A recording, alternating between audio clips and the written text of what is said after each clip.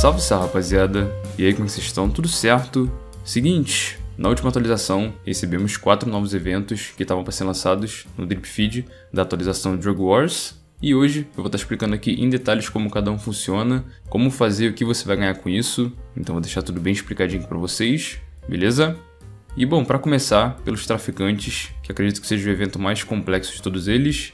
Eles spawnam a cada um dia na vida real, ou seja, 24 horas, e são três traficantes que vão aparecer em locais específicos do mapa, então tem lugares marcados onde eles podem aparecer, e seguem a mesma lógica da van de armas. No caso, esses locais trocam todo dia sim, porém são os mesmos lugares para todo mundo, tá? Então o lugar que os três vão aparecer para mim hoje vão ser os mesmos lugares que vão aparecer para você. Entendido? E ao interagir com o traficante, você vai se deparar com quatro opções, no caso vender meta, vender coca, erva ou ácido, e a esse ponto acho que você já percebeu que tem ligação com os esquemas de motoclube, então por conta disso, os esquemas relacionados aqui, né, com meta, com coca, heavy ácido, eles precisam estar ativos, funcionando para que você consiga vender aquela opção, certo? E se você está se perguntando o que acontece caso você não tenha um desses esquemas, ou se não tiver ativo, ou até se não tiver produto suficiente para vender, nesse caso os traficantes vão aparecer do mesmo jeito, só que o problema é que você não vai conseguir vender para eles naquele momento ali, tá? Então, como dá pra ver, eu mesmo não tenho os outros esquemas, eu só tenho de coca. E mesmo assim ele tá desativado, porque eu fui invadido e fiquei com preguiça de voltar lá e ativar de novo. Mas enfim, é isso daí, simples. E sobre a quantidade que você pode vender, ela vai ser sempre a mesma. No caso, 10 ervas, 2 metas, uma coca e 10 ácidos.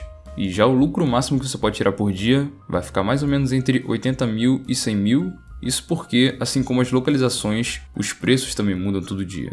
Fora que essa semana tá com bônus de 50%, então também vai estar tá pagando 50% a mais. Beleza? Inclusive, detalhe importante, todo traficante ele vai ter um produto preferencial, no caso o produto que ele se interessa mais, e por conta disso ele vai pagar o dobro do valor original daquele produto. Lembrando que esses valores que estão aparecendo aí, eles não são necessariamente os mesmos dos esquemas, até porque varia todo dia como a gente já falou, mas é sempre um valor bem próximo ali, tá beleza? Ou seja, esse novo recurso dos traficantes basicamente veio para ressuscitar os esquemas de motoclube, entre aspas, trazendo uma alternativa mais fácil e rápida de vender os produtos sem que você precise ir até o esquema e fazer aquelas missões chatas e demoradas de entrega. Agora tudo que você precisa fazer é só ir até os traficantes e vender os produtos instantaneamente para eles. Olha só que maravilha. Bom, agora sobre o depósito clandestino, ele também aparece uma vez por dia da vida real esse daqui consiste em você entrar no depósito clandestino, que vai estar marcado no mapa, matar os bandidos que estão lá dentro, da forma que você achar melhor, seja na bala, seja explodindo, seja, sei lá, no soco, enquanto já matar. E aí você vai procurar pela senha do cofre em algum lugar do cenário ali do depósito clandestino. Aí, cara, achou a senha? Só colocar no cofre, roubar e vazar. Simples assim. A diferença desse evento aqui pro outro é que se você não tiver nenhum esquema de motoclube, você vai estar recebendo 30 mil quando terminar, mas se você tiver, você vai receber bem pouco dinheiro. Mas a parte boa é que ele vai reabastecer por completo algum desses esquemas de motoclube que você tem, o que te economiza tempo caso você fosse roubar os suprimentos e te economiza dinheiro caso você fosse comprar os suprimentos por 75 mil. Resumindo, vale muito a pena.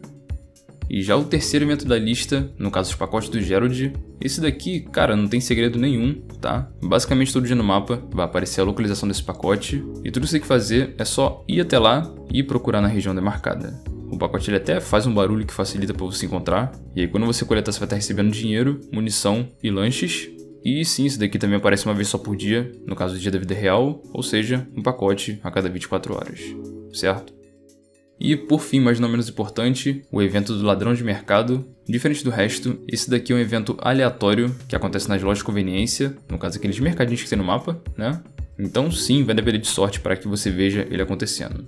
E basicamente o que você vai ver vai ser um ícone vermelho saindo da direção do mercado, que seria o ladrão fugindo com o dinheiro, e tudo que você precisa fazer é só matar esse ladrão e coletar a bolsa de dinheiro que ele dropar no chão. E ao pegar essa bolsa, você vai ter duas escolhas. A primeira seria devolver para o dono do mercado, o que vai te garantir o prêmio de bom samaritano e uma recompensa de 5 mil RP e 20 mil dólares, no caso 40 mil a semana porque esse evento está com bônus duplo.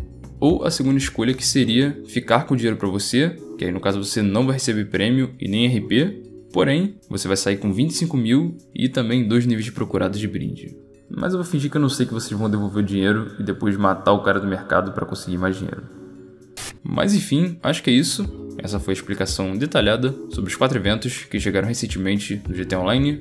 Espero ter ajudado vocês, espero que tenham gostado do vídeo. Se gostou do vídeo, já sabe, dá aquela fortalecida, curte o vídeo, se inscreve, ativa notificações para ficar sabendo sempre que eu postar alguma coisa e a gente se vê no próximo vídeo. Forte abraço.